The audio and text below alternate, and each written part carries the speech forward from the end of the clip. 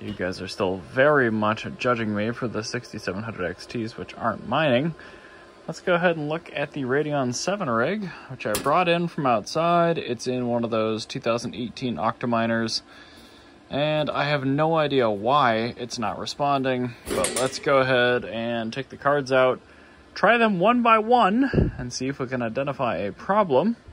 Other than that, I don't know. Let's put some NVIDIA in this rig and see if we can get it going again. I'm guessing at least one of these is dead. So I'm to slot them in one by one, and we'll see if they still mine once my test bench boots. so I literally put all nine of these Radeon 7s and this oddball 5700 XT into my test bench, and literally none of them would even show up. However, I put in the cute pet 5600 XT, then the 5700 showed up just fine, then the Radeon 7 showed up just fine. So I don't know what's going on, but I'm booting it right now and I'm going to mine on it. Let's just see if the cards are okay. I, I truly don't know what's going on. But anyway, unfortunately, I have killed Radeon 7. We have code 43 a card, finally. So, it's a bummer, but oh well. Farewell, Radeon 7. Well, we're back at her after figuring out that I only killed one Radeon 7, and I wanted to take another stab at these old Octominers because, that's a little weird, um, mainly because the one I have down in my garage has eight 5700 XTs in it, and I did try to put more cards in that one initially, and it didn't seem to recognize very well, neither did more than 10 in that Radeon 7 rig, which is this actual rig. However, I put 12 6700 XTs in it, and they all 12 show up, and they all mine. So, hi Modie. Not exactly sure what was going on there, but this is great news, and I'm going to seal this back up, and this will just be a rig. However, before I do that, I do want to... Looks like the, the power supply fan's going the wrong way here, and I also want to resistor mod it, so I'm to do that real quick. Then we'll uh, close it up, and yeah, this should be a successful rig. It's on Ergo right now just to see if everything is hunky-dory. And yeah, seems like we're actually in pretty good shape. All right, she's modded and back. So much better. I elected to not swap the fan around on this one because it's a front fan.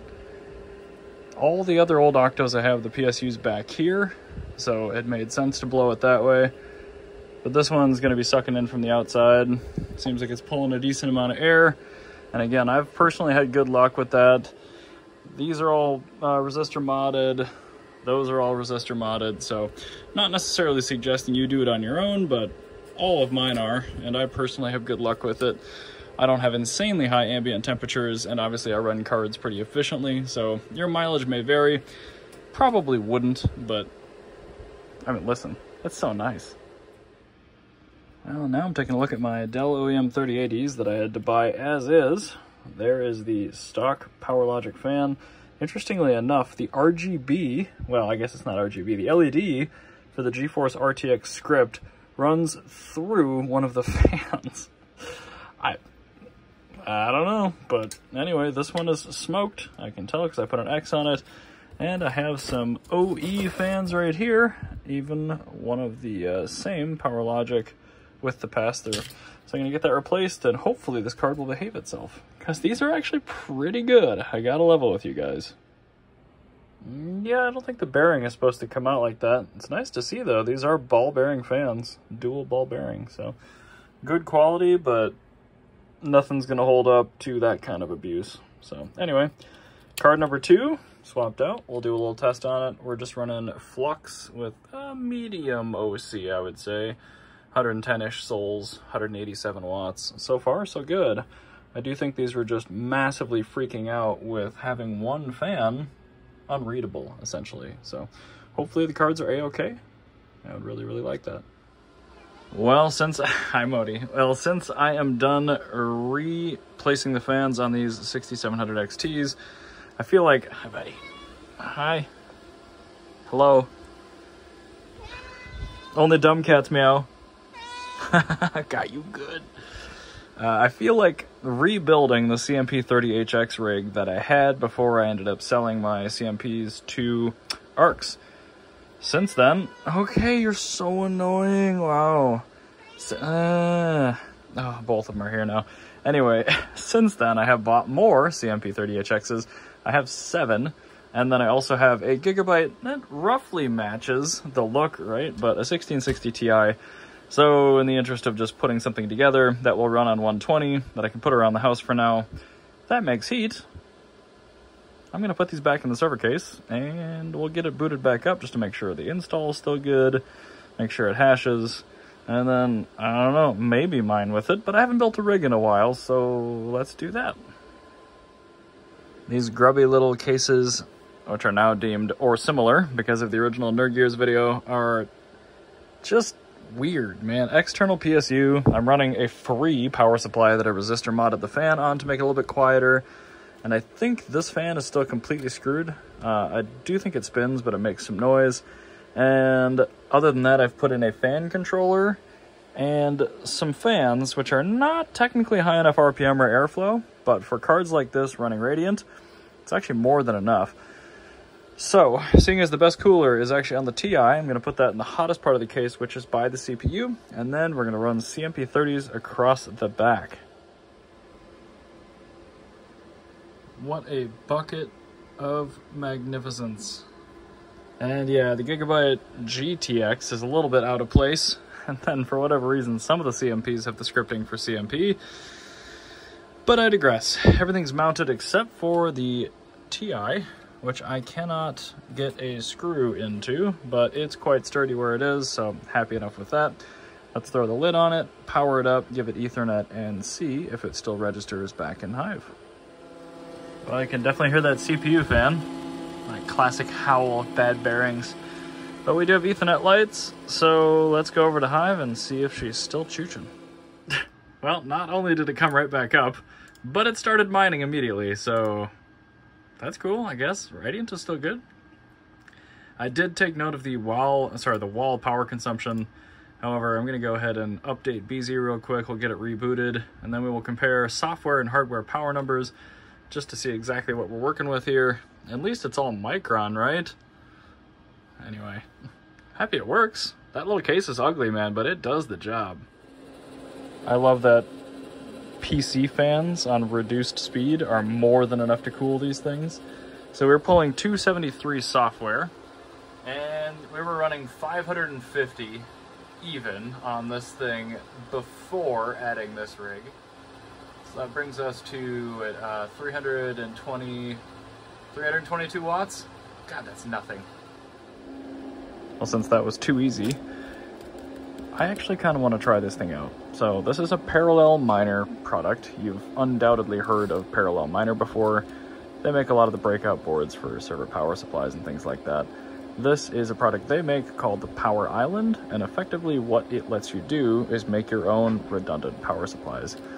So let me open this thing up and let's just demo it and see how it works.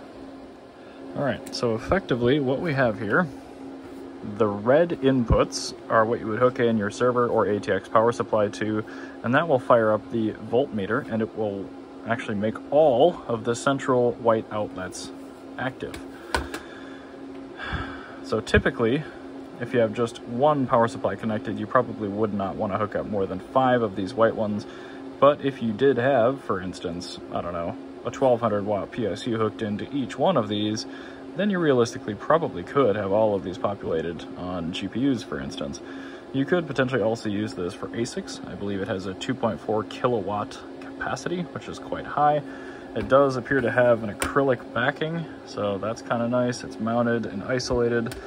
Probably good. When you're dealing with that much DC power, you don't want people to kill themselves. So what I was thinking when I bought this product, I have another one of these server cases sitting right down there, and currently it's running on my house rate power 24 hours a day because it's for the Red Panda Mining tower test. If you're not familiar with that, head on over to Red Panda Mining's channel and just type in tower, and you will see his stack of 6x 6600 XTs that are spec mining different coins. He ran out of cards, so I am spec mining Meow Coin on mine. So anyway, I digress. I have a house power rate of 17 cents per kilowatt hour, but I also have on my PDU right down there a time of day rate. So 9 p.m. to 9 a.m. weekdays and all of weekends, all of holidays are 10 cents per kilowatt hour. But if I run it any time between 9 a.m. and 9 p.m. on a weekday, it's 23 cents per kilowatt hour. So what I'm thinking is I can actually arbitrage and I can run house 17 cent during the day using one PSU hooked into this and then having the output go into the server case here. And then I can use a smart plug to shut off that PSU and I will have already kicked on the off-peak smart plug as well. So I'm thinking have on-peak, or sorry, house plugged in here and have the smart plug uh, turn off about five minutes after the peak uh, changeovers happened. And then I'll have the, the peak power supply over here and I'll have that kick on right when the power gets cheap. So there will be five minutes of dual rate pulling, but then I just want to have some safety net to make sure, you know, it's getting more power than it needs instead of cutting the power and then turning back on. So in a sense, that's what this thing is. We'll see how it works. Uh, yeah, I don't know. It's a cool little item, and I've only seen one YouTuber cover it, which is kind of a shame. So this is just a proof of concept. You would definitely run more than two six pins to power a rig like this, but this is only pulling 330 watts, and we're just gonna do a test with it. So now I have some of the six pins powering this rig plugged into the power island, and I have that power supply, which is already powering the eight 6600s, powering the power island. So in theory, if I pull this PDU plug right here, that PSU will pick up the load. And it has indeed, interestingly enough. We've also picked up a little bit of efficiency, it looks like, unless I crash the rig, which is possible. Let's go see if this is still showing up in Hive OS. Yes, indeed, we are still mining away. So that did pick up the slack, which means that very likely we can use the uh, breakout board in its intended purpose, which is to use two PSUs in one rig instead of one PSU in two rigs.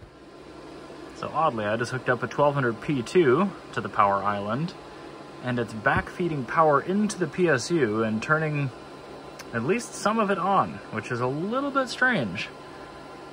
Hmm. Alright, so what I'm going to do now is I'm going to show you both meter boxes, and we have the 1200 P2 on the left. I'm going to flip it on. We should see the load start to come up on that PSU.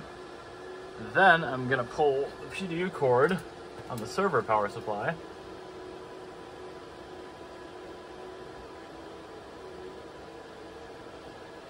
Interesting. Yep, so that's that's actually pretty good. The efficiency is not quite as good, but you can see the power factor is way better. But right now, there's nothing going to that server power supply.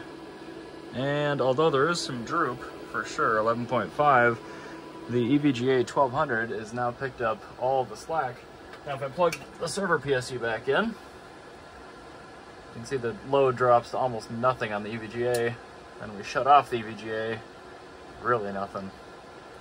So it does work, but I would want to find a power supply that doesn't do the backfeed thing. Because even though I've cut off the main source of power on the outside with the smart plug, it's still spinning the fan and it's potentially leaving parts of the circuitry alive, which doesn't seem like a good thing.